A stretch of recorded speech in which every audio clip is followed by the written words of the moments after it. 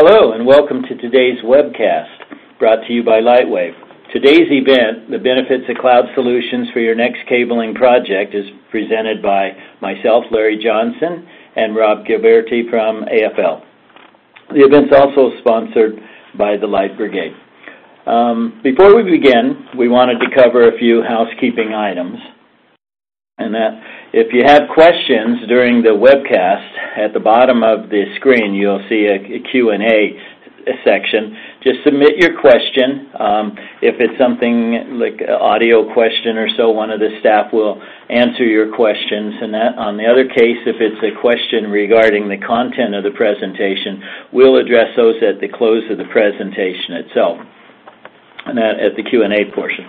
Um, also, on-demand viewing for your convenience, this presentation will be available on demand within 24 hours of this live event and a reminder email message will be sent to all registrants with a link to the archive. It will also be accessible from, accessible from the Lightwave homepage in the Event Resources section. And so now I'd like to continue into the first slide, and you can you can read about the Light Brigade. I think most of you know us and that, which uh, we appreciate. So let's uh, let's talk about the presentation itself. So the first part here is the documentation, and um, so the need for testing and documentation, what does it provide? What's the need for it? So my my experience, and I'll give you some of these. I'm going to date myself some here too. Um, is that you had to show proof of performance in that. So if it, if you were running as a contractor role, you had to submit your uh, test reports. And what um, from the user perspective, they're looking for proof of performance. But we're also going to be using documentation for future adds, moves, and changes. And for those that play in a maintenance or restoration role, we're definitely going to be able to recall information and overlay uh, rest, um, information as well. And that. So for today's uh, technicians, reporting comes in many forms.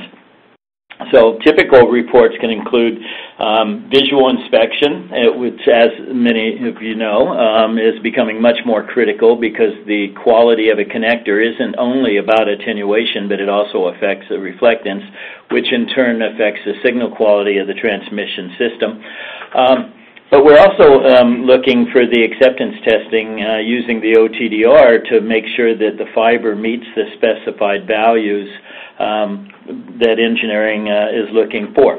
So we're looking for loss per kilometer, for example, at multiple wavelengths. And then our, um, we need to be able to document transmit powers, receive powers, and in some cases, such as, uh, say, a passive optical network using splitters, we may be looking at uh, incoming power measurements uh, before the splitter and, uh, and then an output uh, measurement because when it comes to troubleshooting, we may be only looking at a small section of the network, not the entire network because it's a shared network. And, uh, so, you know, over the past, there's been lots of variations on how reporting could be done. And uh, some of these are, the, you know, of course, the hard copy print where the technician is uh, handwriting uh, the report in. And, and I've seen thousands of these reports, and I can tell you some of these guys out there have signatures like doctors. And that, so sometimes just interpreting them or reading them can be difficult. Um, but and getting them uh, reported in the right method as well.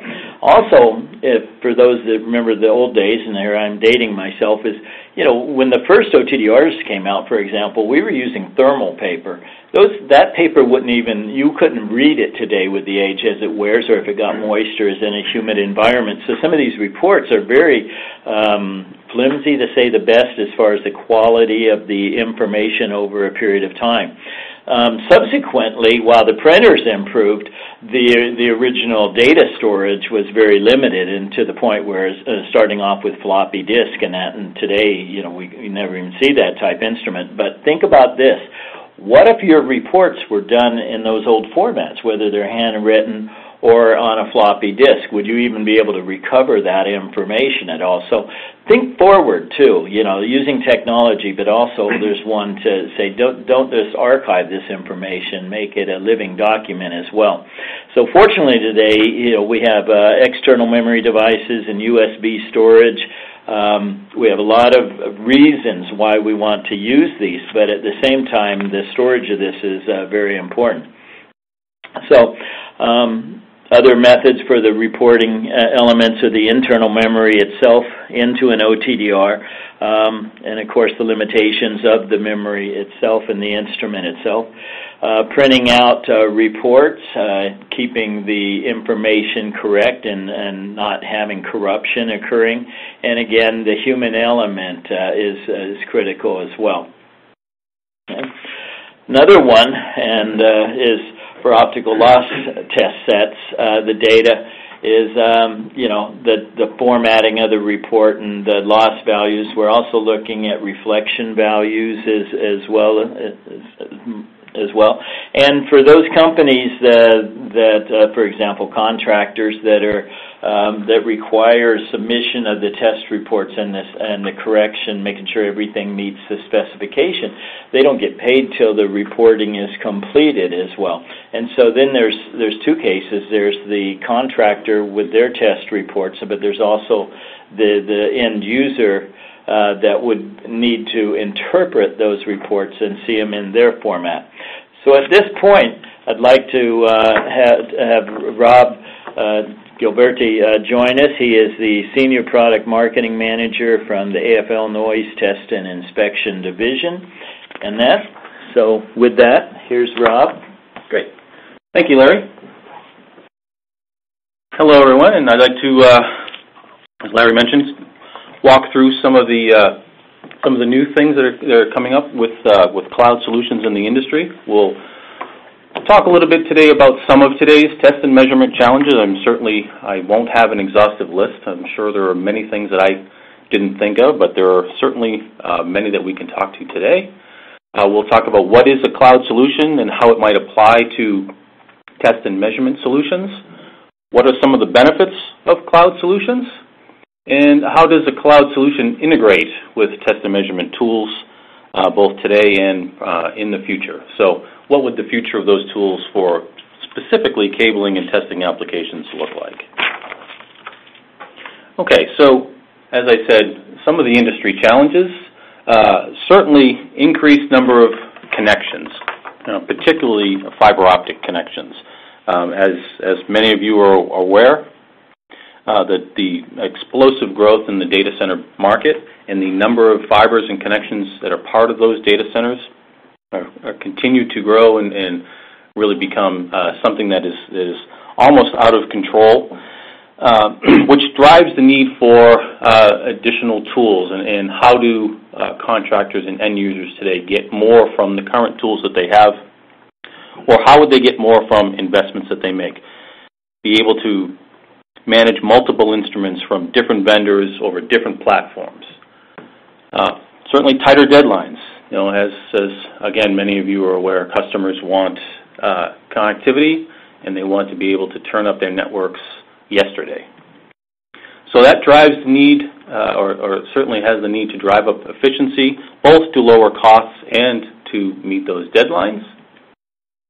Uh, you also have to uh, contend with a changing workforce and, and skills. Many of the uh, cabling contractors, uh, certainly for some of the larger, some of the larger carriers, uh, have a retiring workforce. So you have many new, new technicians entering the field that don't have 30, 40 years experience in, in cabling or, or testing. So the ability to uh, manage new equipment and to make it as easy as possible to adopt uh, some of these some of these new tools are, certainly challenging. Uh, trying to get more data over existing connections, and as you can see from the photograph there, these racks today become more and more dense as as users try to get incredible amount of connections and information into into more and more of a smaller space.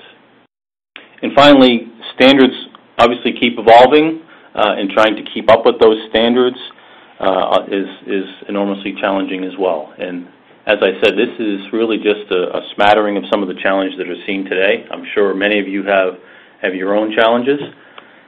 In addition to those industry challenges, uh, there is also challenges within your test and measurement or your cabling installation workflow. So, for instance, technicians face challenges that inhibit efficiency every day. And whether you're doing Tier 1 or Tier 2 testing, whether it's an uh, MPO multi-fiber solution or, or not, whether it includes inspection or some other tools, whether it includes copper, Cat 6, Cat 8, um, all of these things are, are part of uh, a complex workflow that uh, drives uh, uh, complexity in the tools that they need and understanding what tools do I need and how should I configure them.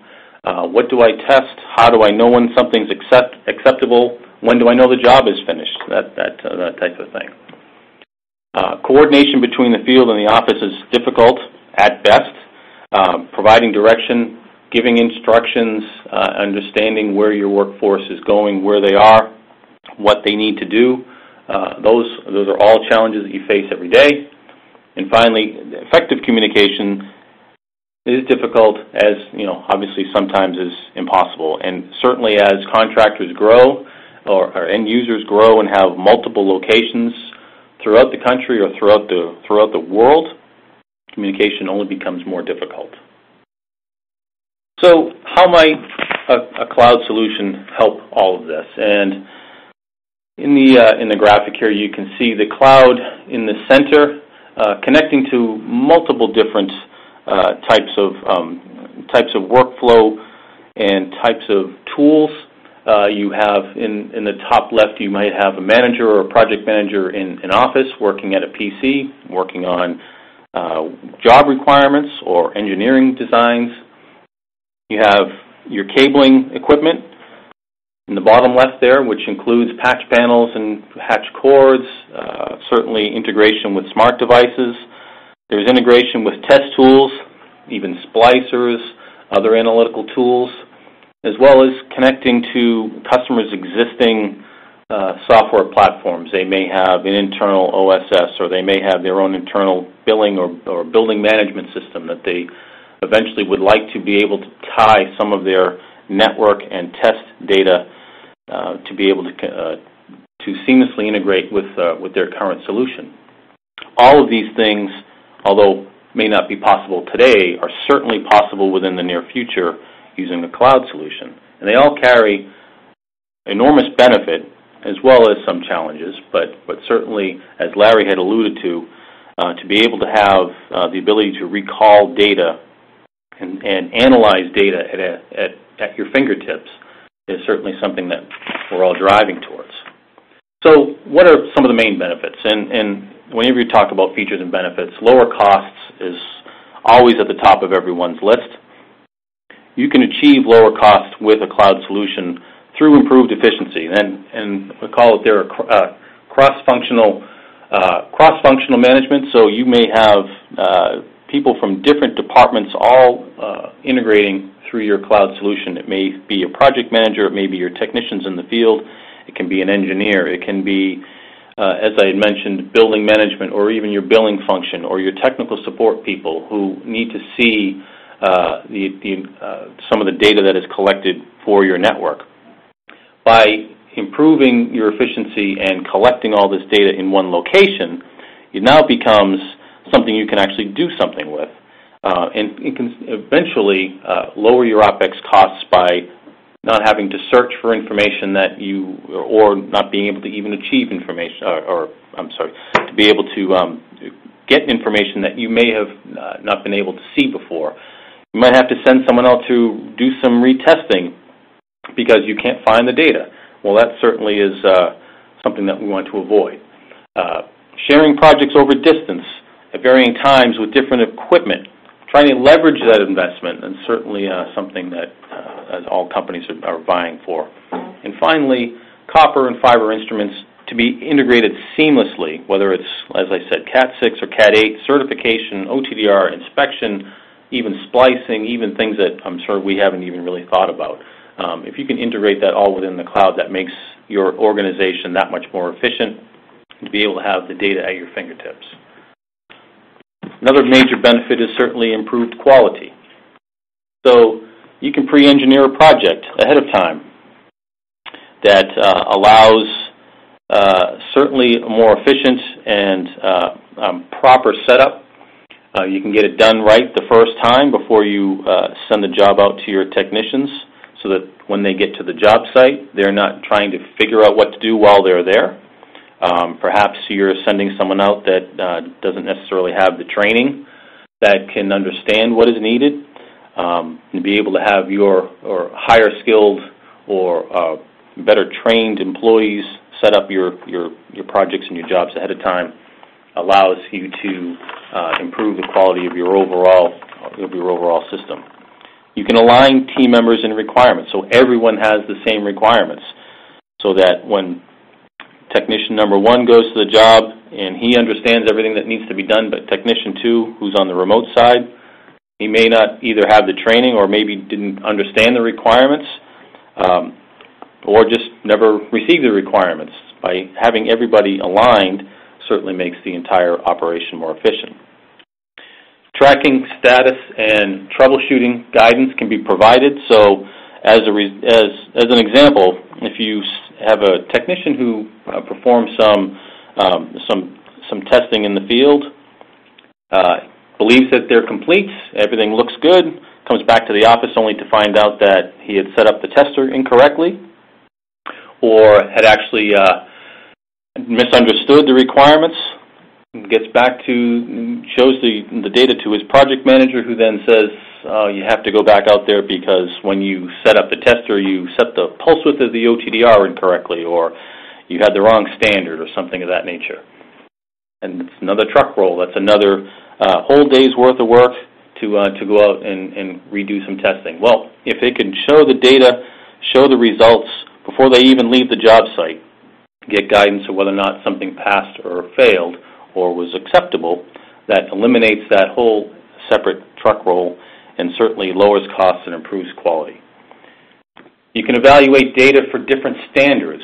Data no longer is stagnant like a report, like a written report or, or, or uh, something that's on a, uh, on a floppy drive, as Larry had alluded to.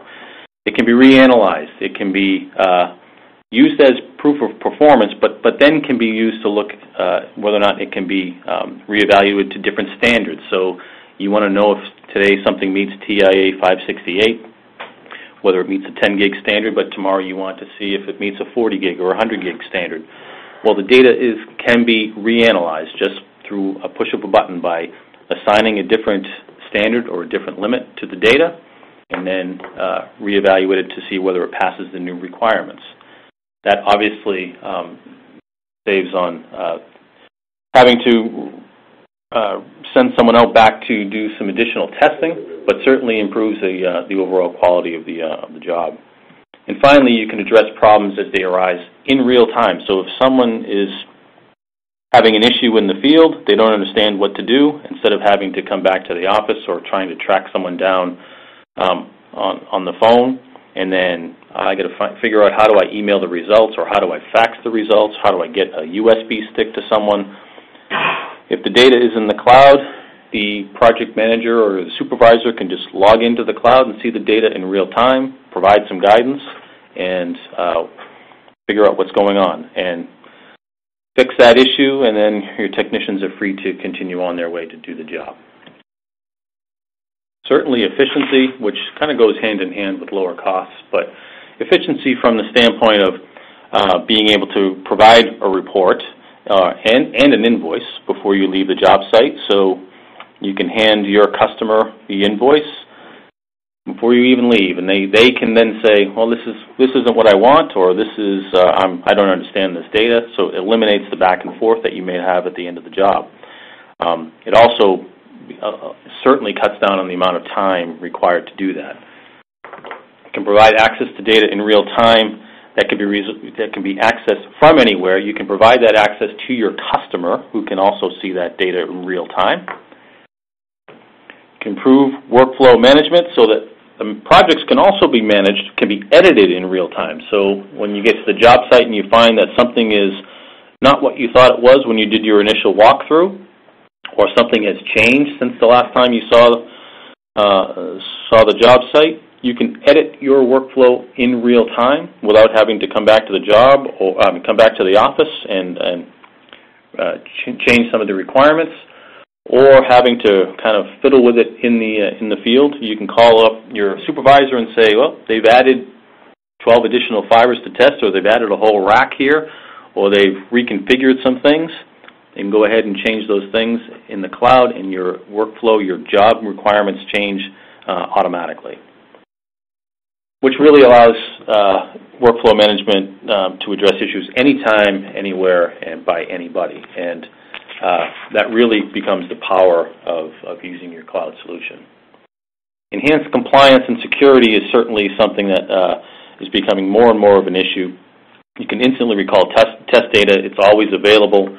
But you can manage your assets, excuse me, to ensure equipment is calibrated, um, calibrated to uh, within um, within requirements. Make sure the right software versions and firmware versions are on your test equipment uh, with the with the latest, um, without having to send equipment back to the office or even back to the manufacturer. Provides for secure documentation and reporting. You never lose data to, to theft um, since the data is in the cloud. Uh, it can be, uh, and that data can uh, go into the cloud. It can be um, synchronized with the cloud, as I said, in real time. So can imagine uh, someone in the field uh, who has their test equipment for some reason is damaged or is lost or left behind, or as we've seen from a number of our of, of, of customers where their test equipment has been stolen.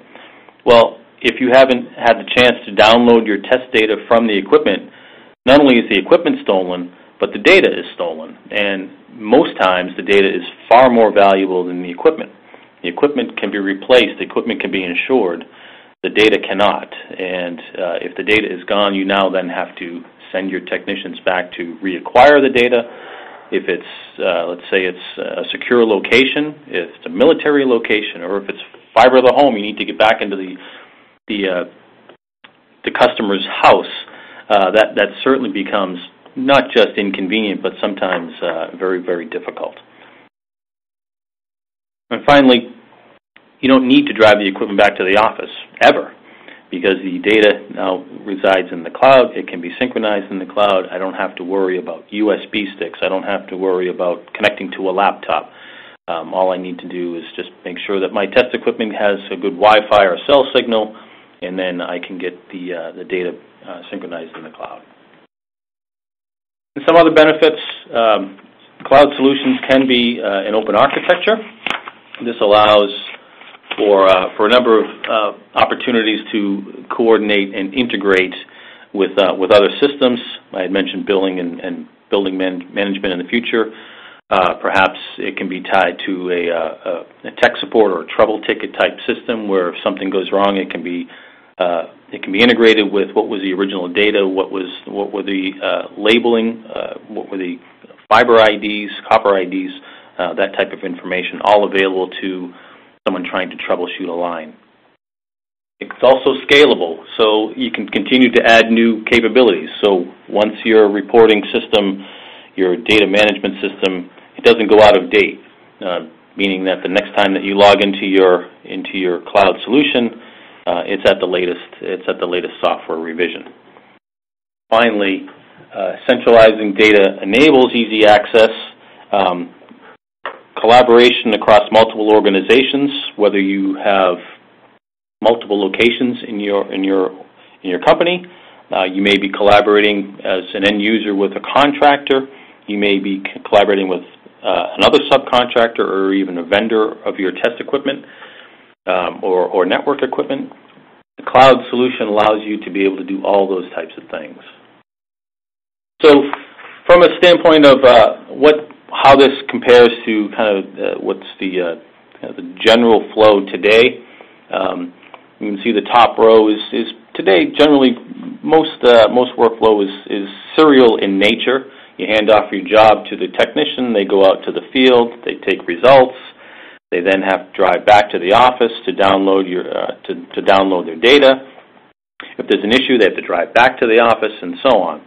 Well, with a with a with a cloud solution, some of those things tend uh, now become uh, parallel in nature, meaning that I don't have to drive back and forth to the office. I don't have to wait to uh, to download the data. I don't have to wait to uh, consult with someone to see the data. So that just drives drives your efficiency. Certainly something that we're driving towards. So, as an example, and again, this is just one example, there are many uh, many vendors of uh, cloud solutions, and they all generally work uh, in similar fashion. In this particular example, just to give you an idea of how a cloud solution might integrate with with your equipment, you'd log into your cloud platform, you can create a project, and uh, including uh, what types of fibers do I test, what types of tests do I perform, what are my pass-fail limits, uh, what kind of, uh, who are the users, Who? Um, what kind of standards do I need to follow? All of that can be pre-engineered in the cloud ahead of time. I allocate my team members, and once I do that, I can then synchronize a project or a job to my piece of test equipment. Now, in this case here, I'm showing a smart device, um, which is one uh, one potential possibility, but this could easily be a piece of test equipment that has uh, that has cloud access. That uh, job now appears on uh, the field equipment. The the technician in the field selects their project to go out and capture some results and follow their, their prompts Uh, through what the test equipment tells them to do. They synchronize automatically the the data, which shows up in the cloud, and that that then becomes available instantly. Another example might be with uh, with an inspection probe. Similar type thing where we set up a uh, a project in the field and take our measurements. We synchronize the data with the cloud, and that data becomes instantly accessed in the cloud by anyone who has access to that to that account. What this does is, and all of this, by the way, uh, is the data is synchronized. It is within seconds. Uh, so this is not something that you have to worry about uh, downloading over a period of hours at the end of the shift or anything like that. Um, it is virtually within uh, a matter of seconds in, or as we like to call it, real time. Essentially, it's real time for the technicians in the field that can um, download this information. And finally, um, this is all about um, certainly trying to lower costs, and um, certainly uh, vendors have done great things with improving equipment, with improving test times. Uh, certainly, uh, customers have done a great job of beating up vendors to lower the prices that they pay. But there's only so much that you can do with equipment, and ultimately, where you get the biggest bang Uh, for the buck in lowering costs is by reducing your OpEx. So you can, by allowing uh, what a cloud what a cloud solution allows you to do is to quickly set up your equipment, either in the office, you can certainly still do it in the job site, but by allowing it in the office, um, becomes more efficient. It's task-driven so that uh, you're not telling your technician to go out to the field and figure out what to do. You're giving them a very quick, um, very easily set up Um, set of tasks that they can then follow. Um, seamless integration today with the existing infrastructure. You can tie results together and ultimately get to uh, where you need to be, which is a report that you can provide to your customer that shows proof of performance, um, and shows proof of uh, the fact that you meet all the requirements and standards required, uh, and ultimately provide an invoice to your customer so the contractor can get paid. And these requirements and these reports then become consistent across whatever platform you're using, and that's within your company as well as uh, as well as your customer's organization. So that allows um, certainly something um, certainly allows your customer to get their their what they need and allows the the contractor to do what they need very quickly and in the most efficient time area. Um, I believe that's my last slide. So I'm going to turn this back over to uh, to Larry. Hey. Well, thanks, Rob. Um, okay, so there's some uh, questions here, and um, so let me address those. So we'll both be sharing the uh, the phone here. So um, about the updates themselves. Um, so when when it's recorded up to the cloud, now somebody comes in and they make a correction to this. How easy is the reporting structure? Is it, is it, uh, are there? Yeah. So, so the data, once it's uh, synchronized to the cloud, that's uh, that's in real time, so the data becomes instantly available. Um, any previously run report would would no longer have. Um, when I say previously run report, if you were to run a PDF or an Excel spreadsheet or something like that, you can certainly download that from any data that you collect in the cloud.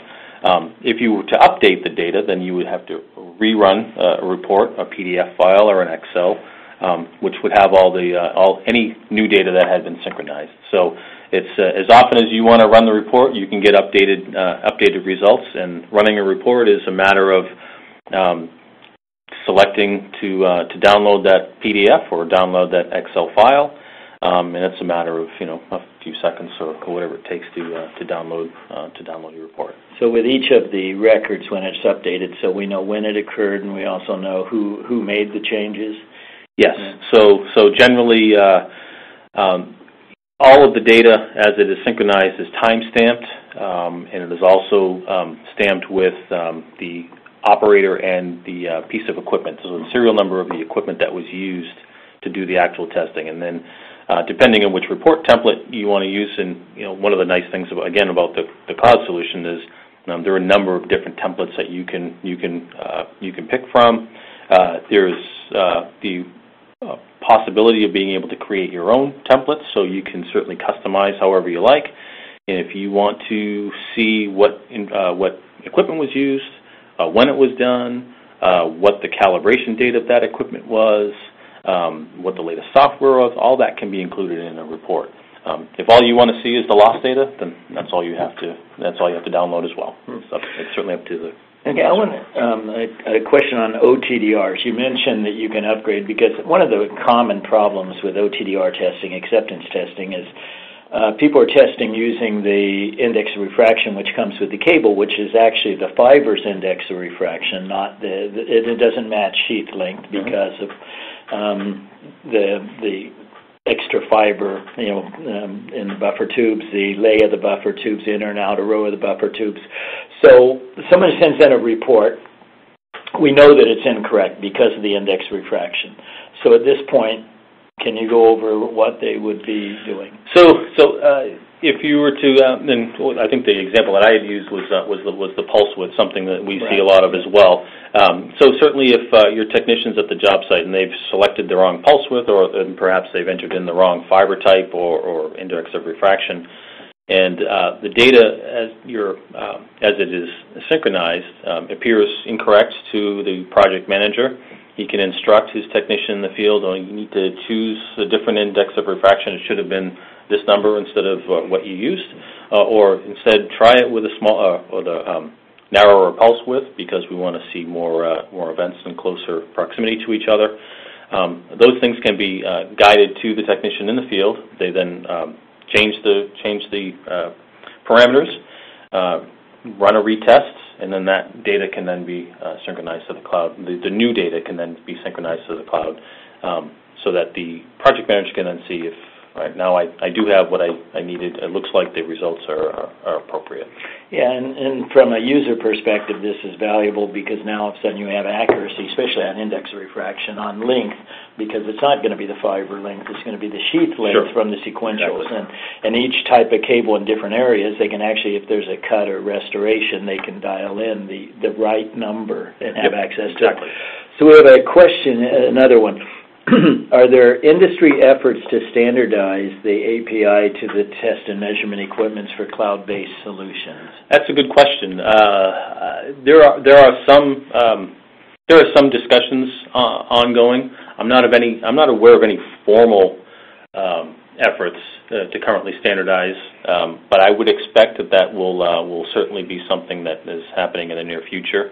Um, as the number of cloud solutions proliferate in the industry, um, the ability to uh, to set a standard so that we can all talk to each other and certainly talk to other industry equipment, um, will certainly be beneficial.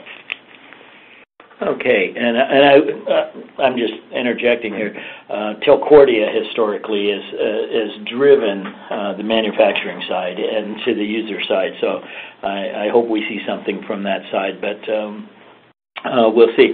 Now, another is, I'm going to go back and talking about a, a, personal experience I had years ago, and one of them was a, a 12,000 termination project, um, a huge uh, data center type company and all this, and the amount of record keeping was just atrocious. And you know, for people to understand how many if you had 12,000 terminations, it's how many optical loss tests at two wavelengths, bidirectionally, a lot of documentation. It was just extraordinary. Now, to make it even worse, the, another project was 56,000 terminations, bidirectional, dual wavelength, three tests for each plus visual inspection. Now, in one of uh, the slides that I saw, you, you it, it, looked like you can integrate the visual picture with the, the yes. test report.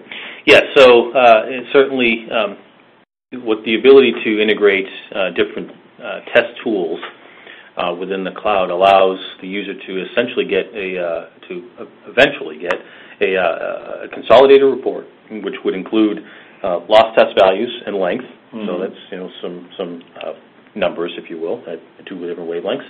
Um, OTDR traces.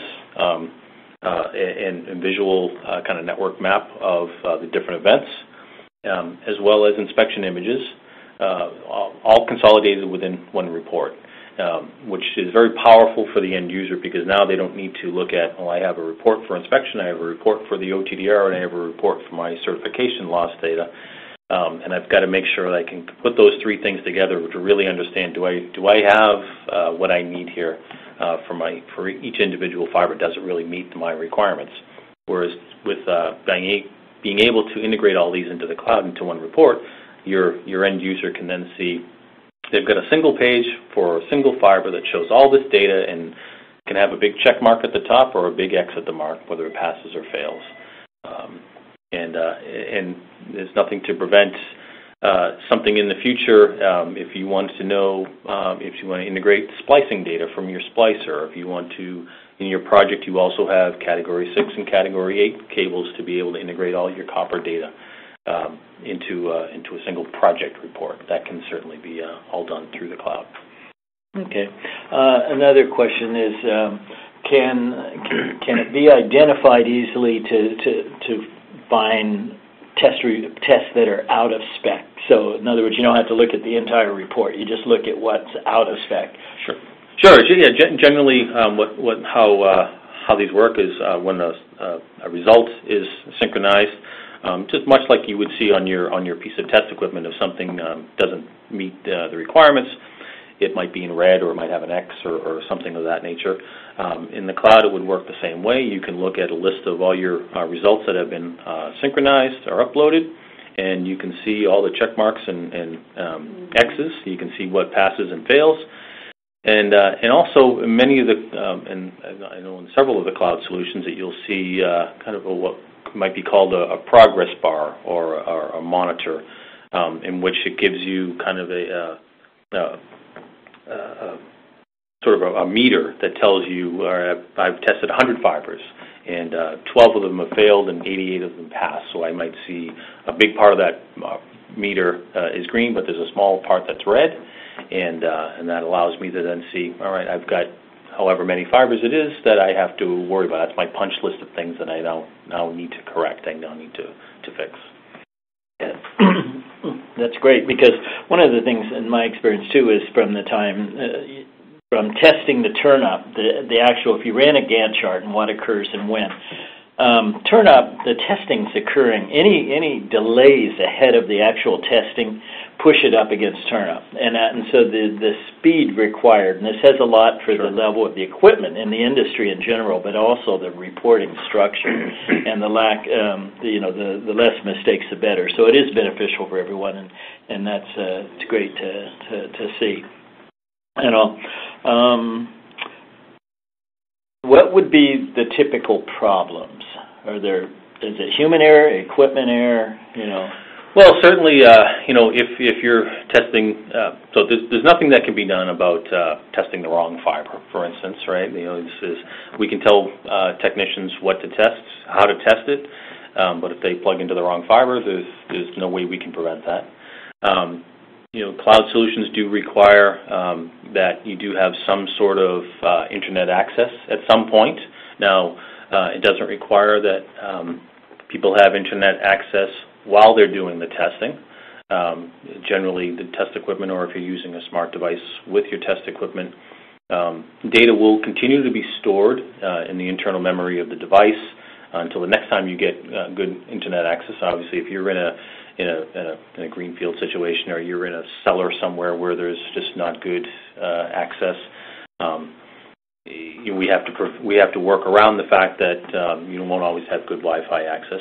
But um, but eventually you'll need to have Wi-Fi access. So if you if you never uh, if you never upload or, or connect to to Wi-Fi, then the, you know the data will certainly still be in your equipment, but you still have to get that to uh, to the cloud at some point. Um, so you know, there's uh, we can certainly try to make this as easy as possible. The, the, the cloud solutions will um, allow people to to do a lot more. Um, it can be a little scary for some people as well. You know, who think that um, you know we've had uh, just personally we've had a number of customers say to us, "Oh, we'll never use a cloud solution." And it's like, well, uh, you don't necessarily know what it can do yet, and, and so it sounds a little scary. But um, the uh, once once they start to use it, they start they see that uh, it's got so many benefits that all right, maybe uh, we do need to learn a little bit how this uh, how this works. And this next question, I think I don't believe it's as much a cloud question as as, as a, an equipment question, but with more complex systems, and that to where we're uh, say a, a fiber to the home network where we have one OLT to 32 ONTs. With that, that report is unique versus a point-to-point test. Sure. So in the equipment side, is it is it do you have a menu that selects a type of test? Exactly. So in uh, in the solution, you can uh, you can create um, a setup or, or um, kind of a, a, a list of uh, requirements for the equipment that tells it exactly what type of uh, network that you're testing, um, whether it is point-to-point or it's a PON solution, um, whether you're doing bidirectional unidirectional or multiple wavelengths. All those kind of parameters are configurable uh, generally um, and certainly, as I said, you know, some of these things, what, what could be possible in the future as well as, as some of these data centers become more and more complex, um, you can test the whole rack potentially all at once, right? Um, now, now, eventually that'll uh, that'll have to be uh, it becomes very complex to manage from from an equipment standpoint, but um, but there's nothing to prevent uh, prevent that from happening. Um, but is for today, um, you know, all those things can be can uh, like I said, point to point or PON can be chosen today, and uh, and well, depending on how you set it up, the uh, the the, um, the equipment will then guide you through what to do to test. Good. On uh, st- sticking on PONs because there's three generations of PONs. The legacy PONs, which are pretty straightforward: G pond, GPON, BPON, EPON. Uh, next generation, though, changes wavelengths upstream and downstream, and the the, the third generation uh, on that when we go to WDM-PON. Now we're incorporating not only fiber management, but we're now we're incorporating wavelength management mm-hmm. as well. So in one case, we have these test reports that were originally performed on a legacy PON. Then we go to a 10G PON. Then we go to a WDM PON. So the flexibility is there. Is what you're saying? Absolutely. Okay. Yep. Absolutely. So and, and again, it's a matter of. Uh, of configuring your uh, your uh, your workflow and your setup depending on what you want to do, whether it's uh, 1490 nanometers, if it's 1650 nanometers, if it's bidirectional, unidirectional, if it's a WDM system, and there's a whole other uh, uh, piece of equipment that you then need to integrate with uh, to test multiple wavelengths. Um, all those can be accommodated with the cloud. Great, great. Um, can we? Uh, our email addresses are on the Q and A sheet. Um, it's uh, Larry at Light Brigade and Rob Gilberti at AFLGlobal.com. Uh, if you want to reach out to either of us with uh, any specific questions, be glad to get back to you. Um, on the other case, we appreciate you taking time out today uh, to, to listen in on us. And uh, as I may have mentioned before, that uh, the presentation will be archived within 24 hours and can be accessed from the Lightwave homepage. again on the event resources selection area. And there's also going to be a reminder email sent uh, to all the registrants complete with a direct link to the archive. And on behalf of the Light Brigade, we'd like to thank Lightwave, PennWell Corporation, and AFL in participating. So thank you very much. We look forward to uh, having you attend future presentations.